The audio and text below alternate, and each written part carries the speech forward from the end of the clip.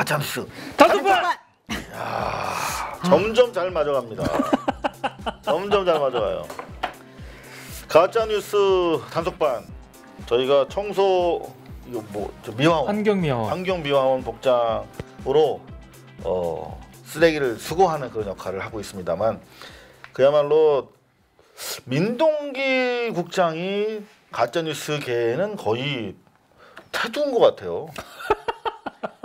쓰레기 반장. 네, 쓰레기 처리 반 반장 예, 요즘 애매한 게 많습니다. 왜요? 예, 그러니까 이게 아니 정평이 그렇게 난 것 같아. 민동기 그러면 가짜 뉴스의 정통한 권위자. 저희 부모님이 걱정하시죠. 어 진짜? 예, 고만 좀 조지라. 사실 기자 입장에서는 제일 하면 안 되는 게 언론사 조지는 거. 맞아요. 거기 기자가 수백 명 있는데 수백 그렇죠. 명을 적으로 한꺼번에 돌리는 거거든. 그렇죠. 아 두렵습니다, 여러분. 구독 좋아요 부탁해요. 진짜 두렵죠. 그렇죠. 여러분들이 지켜주셔야 됩니다. 네. 좀 아니 두렵고 무섭다기보다 음. 좀 피곤한 거죠. 네, 피곤하시죠. 예.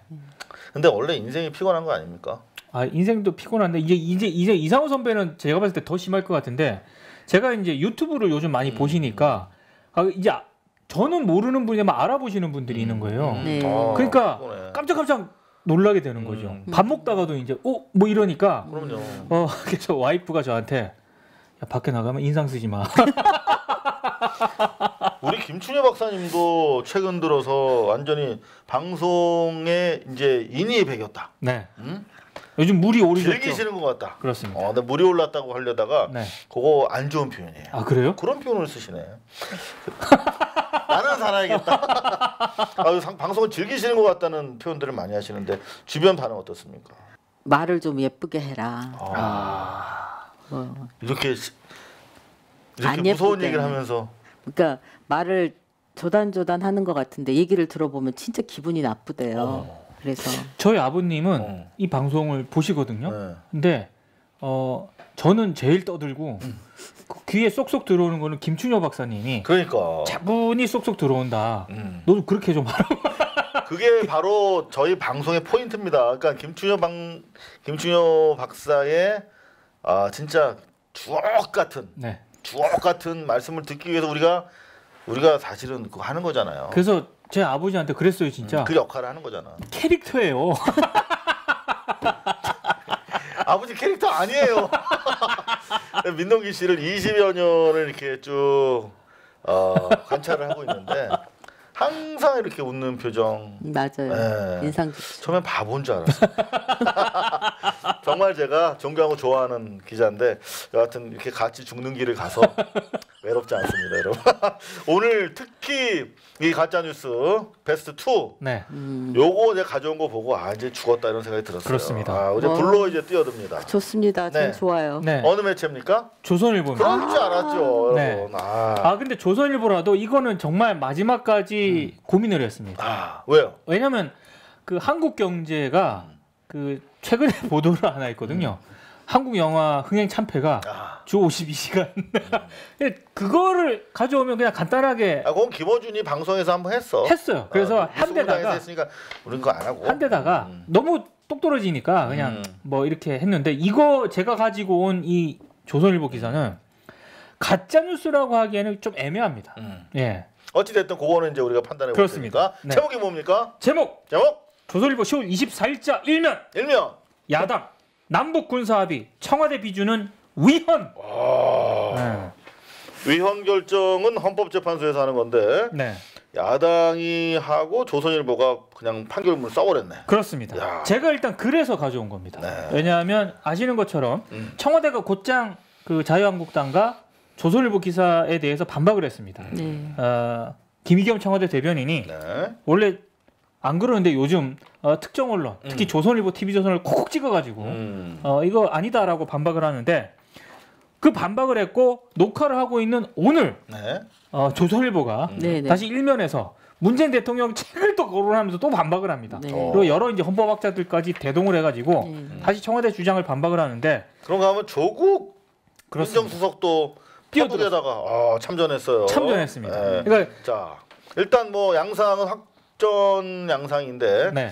일단 어떤 내용인지 한번 살펴보고 들어가죠. 일단 네. 그 위헌이라는 겁니다. 음. 그 조선일보와 뭐가? 자유한국당 주장은 네. 문재인 대통령이 지난 23일 국무회의에서 음. 이른바 9.19 평양 공동선언 있지 않습니까? 네. 아, 이거를 어, 비준으로 했지 않습니까? 음. 심의 의결하고 재가를 내렸습니다. 근데 네. 어, 조선일보와 자유한국당은 이거는 국회 비준을 거쳐야 되는 건데 음. 이렇게 그냥 대통령이 독자적으로 재가를 한 거는 위헌이다라고 음. 주장을 했습니다. 음. 어, 근데 이게 과연 위헌이냐 아니냐는 솔직히 저도 어, 저 저- 이거 가짜 뉴스라고 봐요. 어? 어, 그래요? 어 이렇게 빨리 치고 아니, 나오는 일단 것은 일단 제가 가짜 뉴스라고 가져온 이유는 네. 저는 일단 가짜 뉴스 한 반, 음. 나쁜 뉴스 한 반 이렇게 생각인데 왜냐하면 가짜와 나쁜 네 아기가 섞여. 배합. 왜냐하면 어. 아까 그 야당 해가지고 위헌 음. 그래서 조선일보 요거, 요거, 요거. 기사를 보면 어. 위헌이라고 몰아가요 사실상 음. 기사가 음. 예, 야당 주장을 인용하는 척하면서 위헌이라고 몰아갑니다. 음. 그런데 이후 전개되는 양상을 보면은요, 아까 얘기했듯이 입장이 다 다릅니다. 그리고 네. 심지어 헌법학자들과 법학자들 사이에서도 의견이 나뉘어요. 네, 네. 그럼 언론이라면 음. 그걸 공정하게 다뤄야 될 거 아닙니까? 그렇죠. 근데 조선일보는 아예 단정을 해요 사실상. 음. 그래서 저는 이거는 굉장히 위험한 보도다, 나쁜 뉴스다라고 생각을 했고 나머지 50%는 왜 그래 음. 좀 나쁜 뉴스라고 생각을 했냐면 음. 아니 그러니까 좋다 이거예요. 그 통일을 하지 말까요? 그러니까 조선일보는 음. 통일하지 말자는 거라고 저는 이 기사를 보면서 생각을 했습니다. 오케이. 저 네. 그 얘기는 조금 그렇습니다. 이제 풀어가야 될 문제인 것 같고요. 네. 논란 정도로 그렇죠. 어, 객관적으로 살펴야 될 사안을 반통일적 지향을 가지고 위헌 쪽으로 몰아가고 있는 프레임이다라고 하는 그렇습니다. 지적인데 그래서 반반인데 사실 우리 박사님이 초반에 그렇죠. 가짜라고 선언하면서 이렇게 참전하시는 경우 별로 없었거든요. 없습니다. 정리국면의 네. 지식인의 어떤 그 합리성 저랑 선배랑 이러면은 딱 나중에 정리를 하는 주시는. 분인데 네. 초반에 가짜 뉴스로 치고 나오셨어요. 제목이 틀렸잖아요. 제목이 아. 어떻게 들렸습니까? 위헌이라면서요. 음, 네. 근데 이 위헌에 대한 판결은 누가 내- 내린 거예요? 헌법재판소. 헌법재판소와 네. 대법원에서 이 남북 합의서에 관한 기존의 그 판단을 어떻게 내리는가를 보면 되거든요. 아, 있나요? 있어요. 어, 좀 아. 보여주시죠. 이게 그러면. 뭐냐면 남북한 헌법재판소와 대법원은 판단을 어떻게 내렸냐면 남북 관계는 통일을 지향하는 특수 관계이기 때문에 음. 이게 그 조국의 평화적 통일을 이루어야 할 공동의 정치적 책임을 지고 상호 간에 성에 있는 는 약속을 이행하는 것이 하- 합의서이고 네. 이것은 그 비준이나 이런 게 아니고 그러니까 그 일종의 공동 선언이고 음. 신사 협정이다. 음. 네. 즉 법률에 주장할 수 있는 부분이 아니다는 거죠. 음. 네. 그렇기 때문에 이거는 위헌이 아니다고 이미 판단이 내렸어요. 어, 그게 과거 이제 91년 당시 노태우가 추진했던 남북 간의 합의서 부터 다 그렇게 아니 인정이 된 건가요? 그래서 이거에 대해서 그렇죠. 그러니까 음. 그거에 대해서 계속해서 논란이 되었을 거 아닙니까? 음. 90년대에 네네. 이거에 대해서 우리나라 법원에서 최고 법률기관에서 이미 판단을 내렸어요. 음. 남북 간에 하는 부분에 대해서는 이건 신사 협정이다 이렇게 판단을 음. 내렸고 두 번째 두 번째 헌법에서 이게 위헌이라고 얘기를 하려면은 헌법에서 법률로 정한 왜 위헌인가에 대한 설명이 있어야 되는데 일단 없는데요. 네.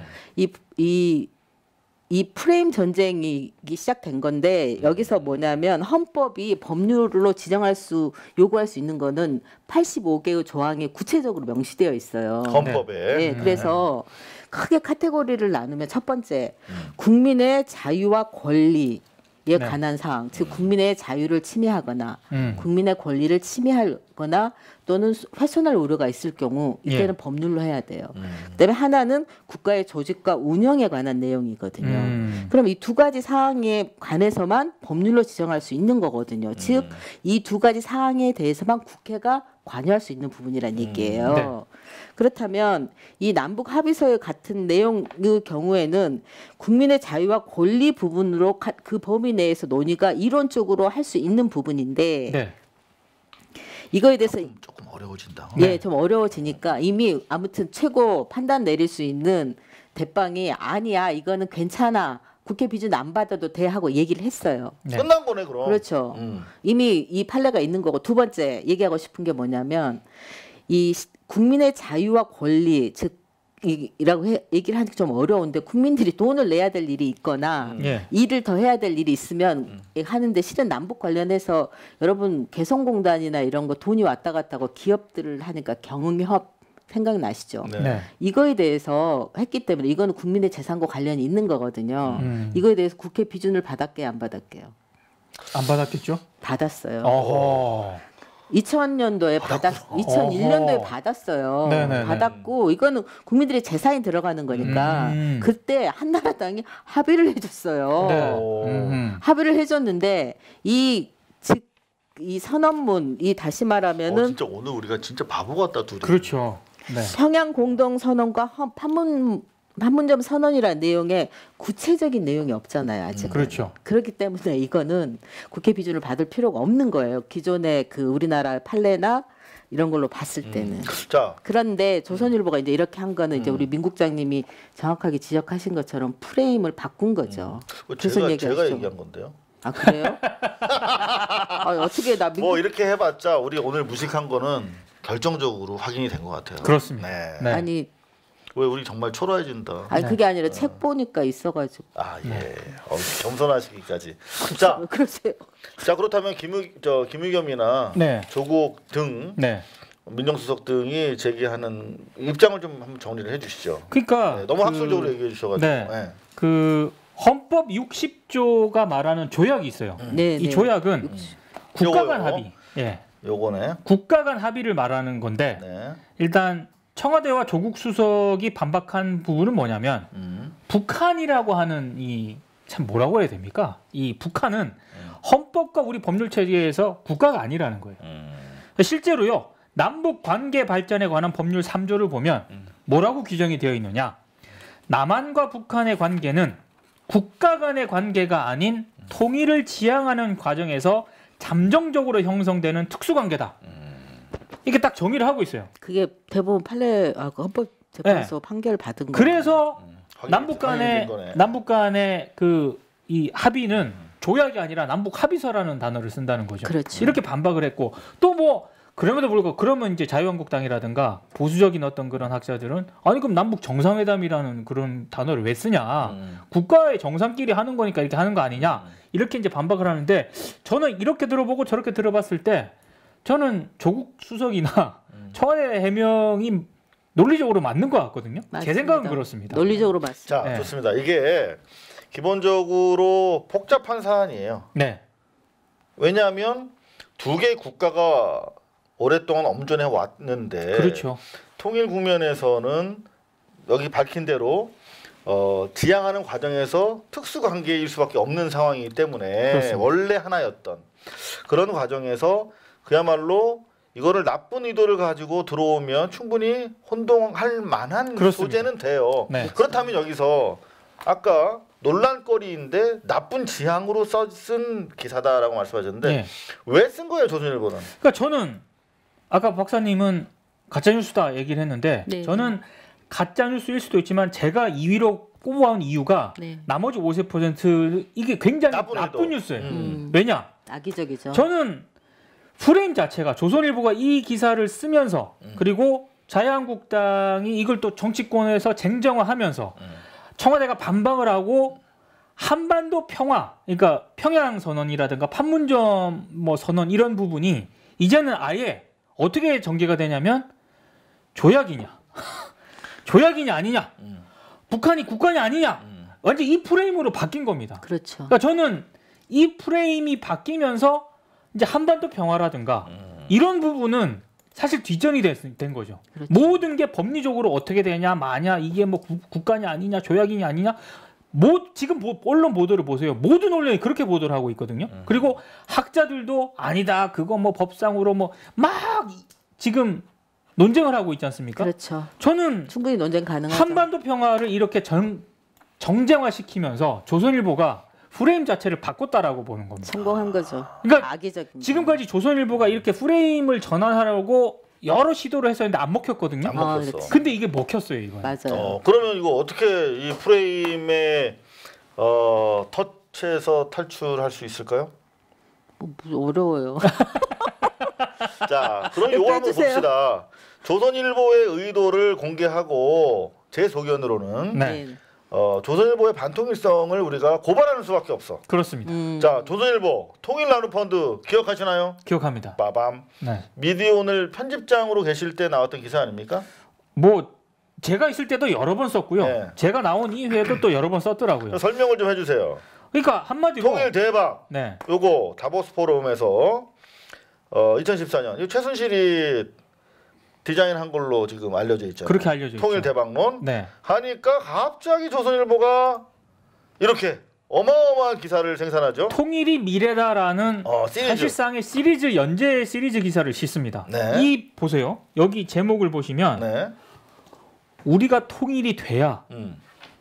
한국 경제가 발전하죠. 한국 경제가 발전하고 음. 대한민국이 발전한다. 이 제목 보세요. 북 관광 시설에 4조 투자하면 연연 40조를 40조 본다. 이거 퍼, 퍼주기를 주장하는 내용이네. 그렇습니다. 반드시 통일을 해야 됩니다. 음. 예. 뭐 통일 비용 겁나 좀 혜택이 더 크다. 네. 야. 이런 식으로 다 했죠. 음. 그러니까 이 조선일보 기사에 따르면 통일은 반드시 해야 되는 겁니다. 네. 비용을 들여서라도. 음. 그러면 들더라도 당연히 여야에 관계 없이 뭐 비준을 해야 된다라고 하는 주장하는 쪽에서도 음. 조선일보도 마찬가지. 지금 위원이라고 지금 주장을 하고 있는 이 조선일보도 과거 2014년도에 이렇게 시리즈 기사에서는 비용이 들더라도 통일해야 된다라고 음. 자기네들이 기사를 쓰지 않았습니까? 그러니까 그거는 거론할 단계도 아니며 네, 어, 계제도 아니며 네, 어, 대상도 아니라는. 그렇습니다. 2014년도에 그러면 북한이 음. 핵 폐기했습니까? 안 했습니다. 남북 관계 지금보다 더 최악이었어요. 그런데도 조선일보는 통일이 미래다. 이렇게 시리즈를 기사를 계속 몇 달 동안 썼거든요. 근데 왜 지금 와서 위헌이니 뭐니 뭐 왜 국회 비준 안 받니 이런 주장을 왜 하냐는 거예요. 자 그러면 나 궁금한 게, 네. 자, 이, 이 당시에 남북이 하나가 돼야 한국 우리나라만 잘 사는 게 아니라 동아시아 전체가 잘 살 수 있다 이렇게 했는데 네, 지금 이런 어깃장을 놓는 기사들을 보면 네, 마음이 바뀐 건데 네, 그때는 통일이 안 될 것 같으니까 되자고 한 것인지 정치적으로 활용하기 위해서 네. 혹은 지금은 될 것 같으니까 되면 자기네가 불리하니까 막으려고 하는 것인지 왜 달라진 걸까요? 저는 이건 그냥 음, 그 추정이야? 추정입니다. 위험한데. 저도 추정해요. 저 추정을 한번 해보겠습니다. 자 그러면 이건 추- 분명히 추정입니다. 당시 그, 민동기 추정. 네, 아니 그러니까 당시 뭐 국정감사라든가 이런 국회 정보위에서 음. 그뭐 여당 쪽, 그러니까 박근혜 정부 당시 이제 지금 자유한국당 쪽에서 계속 나왔던 얘기, 음. 그리고 국정원이 그 국회 정보위 가서 보고를 했던 얘기 중에 하나가 북한 체제가 불안정하다. 그렇지 맨날 그랬지. 막 흔들린다. 김정은 체제 조금 있으면 무너진다. 그래서 흡수 통일 얘기가 막 나왔거든요. 그런가 하면 유민 예. 유민 흡수하려면 캠프 뭐 차려야 된다 네. 막 그런 얘기하고. 그런 보고들이 끊임없이 저는 청와대에 보고됐을 가능성이 높다고 봅니다. 음. 그래서 우연의 일치인지 모르겠습니다만 그 최순실 씨가 뭐 음. 통일이 통일은 대박이다라는 저 작품에 사실상 저 워딩을 지금 개발했다는 거야. 예, 그 워딩을 개발한 거 아니냐라는 얘기까지 나오고 있는 그런 상황이잖아요. 근데 지금 이 그때 당시 조선일보가 그 맥락에서 통일이 미래다를 치고 나갔거든요. 그러니까 제가 봤을 때는 어, 흡수 통일이 실제로 됐을 아. 된다는 가정하에서 음. 통일 아젠다와 흔히 말하는 이 통일 사업, 통일도 하나의 사업이지 않습니까? 그죠. 어, 그거를 선점하기 위한 음. 어, 그런 어떤 작업의 일환이 아니었나라고 저는 추정을 하고 자, 있고요. 요 추정 어떻게 생각하십니까? 아, 어, 저기 120% 동의하고요. 오, 네. 조선일보가 생각하는 통일과 평화는 다른 것이네요. 그렇죠. 그런데 이제 저, 여기 하나 더 얹고 싶으면 음. 뭐냐면 조선일보는 이 통일에 관한 이슈를 음. 이슈에 대해서 이니셔티브 뭐라 그러나요? 주도권. 을 잡고 싶은 거예요. 음. 우리가 아젠다 그 논, 논쟁거리도 정하고 음. 우리가 큰 그림도 우리 뜻에 따르라는 거죠. 아. 그래서 우리 그늘 밑에 다른 사람들을 모아 놓을 테니 그 뜻을 따르라는 건데 전혀 상의를 안 하고 음. 하니까 그래 그럼 그런 식으로 할 수 있으면 그럼 그러면 한번 해보자 이런 아니, 거죠. 그러니까 저는 저는 지금 조선일보 관계자분들께 질문을 드리고 싶은 게 그렇게 아젠다 박사님 말씀처럼 아젠다를 잡고 싶으면 문재인 정부가 선도적으로 지금 하고 있잖아요. 음. 손잡고 아젠다를 잡으면 되지. 왜 박근혜 정부 때는 통일이 미래다라고 해놓고서는 문재인 정부 들어서 실제로 상당 부분 남북 간의 평화가 진전, 평화 모드가 진전이 되고 있는 이 상황에서 위헌이다. 이걸 왜 하냐? 국회 비준 받아라. 이건 뭐냐는 겁니다. 그 시- 정책 국가 정책에서도 마찬가지지만 신문에서도 논조의 일관성이라는 게 굉장히 중요합니다. 그 우리나라 역사에서 논조의 일관성을 갖기 시작한 게 1988년 이후거든요. 음. 그러니까 그 전에 그냥 되는 대로 썼어. 예, 예. 근데 조선일보는 시장 상업 그 시장주의가 지금 우리나라 신문 시장을 통, 그 장악하고 있는 상황인데도 여전히 2년 3년 전의 이슈를 음. 완전 얼굴 180도 바꿔가지고 일관성 아, 상반된 기사를 내볼 수 있- 있다는 것 자체가 음흠. 이게 저 과연 신문사인가 음. 이게 신문 산업의 기본이 되어 있는가 음. 저는 그런 기본적으로 생각이 들어요. 어 자기 분열적인 그런 조선일보의 보도 양태는 워낙 많이 저희가 겪어왔기 때문에 그렇죠. 어 그거는 그냥 하나의 스타일이다. 그냥 염치 없이 자기네 그때 그때의 이해와 요구에 따라서 부응하는 기사를 써왔다 이렇게 생각을 하는데 그렇다면 저는 지금 이 시점에서 왜 이렇게 다른 기사가 나오는지 음. 에 대한 어, 나름대로의 저의 추정, 결론적 추정을 좀 말씀드리면 네, 네. 어, 맞는 것 같아요. 그러니까 어, 누가 통일을 주도하는가가 음. 상당히 중요합니다. 그렇죠. 똑같은 통일이라고 부르지만 누가 주도하는 통일인가에 따라서 모든 양상이 달라지는 거죠. 음. 그러니까 그때 박근혜 때의 통일이라고 하는 건 반공 극심한 반공주의자들과 음, 음. 어, 냉전주의자들의 통일이라는 거는 괴멸적인 상대방에 대한 괴멸적인 흡수 통일을 의미하는 것이라고밖에 볼 수가 없는 것이고 네. 지금은 공전적인 통일. 그렇죠. 그러면 남한 내의 냉전 세력에겐 그야말로 죽음을 의미하는 거거든요. 그렇지. 음. 자기는 설 기반이 없어지는 거예요. 그렇죠. 그런 가운데 우리가 통일이라고 하지만 서로 다른 통일의 주도 세력이 바뀌면서 지금은 통일을 반대할 수밖에 없는 매우 불편한 입장에 처해 있는데 그걸 드러내기가 어려우니 여태까지는 계속 끌려다니다가 법이라고 하는 부분은 법은 가치를 초월하는 어떤 규범자로서 작용하기 그렇죠. 때문에 자기네 내심을 숨기기가 되게 좋아요. 음. 그렇죠. 법률 문제로 환원시켜 버리면 그래서 마침 좋은 소재 를 발견하고 여기 올인하고 있는 것이 아닌가 그렇게 생각이 됩니다. 그렇죠. 음. 그리고 이 남북 관계에 관해서는 우리나라 헌법이나 법률 어디에 대해 명확한 규정이 없기 때문에 1991년부터 20 25년 동안 규정을 만들라 하고 법학자들이 계속 recommend 그, 그 뭐라 권유를 합니다. 네. 그런데 이게 정치적인 상황 때문에 만들지를 못했어요. 이거는 사실 합의 내리기가 되게 어려워요. 그렇죠, 그러니까, 그렇죠. 기본적으로 통일을 바라보는 방금 말씀드렸던 것처럼 입장 차이가 너무 극명하기 때문에 좋습니다. 그러면 조선일보 프레임 현재까지 성공하고 있는데 우리가 이 프레임에서 벗어나기 위해서 한 말씀만 딱 정리를 해주시죠. 어떻게 벗어나야 됩니까? 저는 언론들이 조선일보를 향해서 그럼 니네 통일하지 말자는 거냐? 음. 라고 이제 물어야 된다라고 봅니다. 다스의 주인은 누구입니까?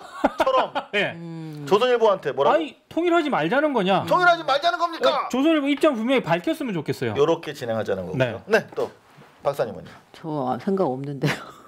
아니 저기 민, 민 국장님 생각이 아주 좋아요. 네, 그러면 한번 해주세요. 뭐라고요? 요 질문을.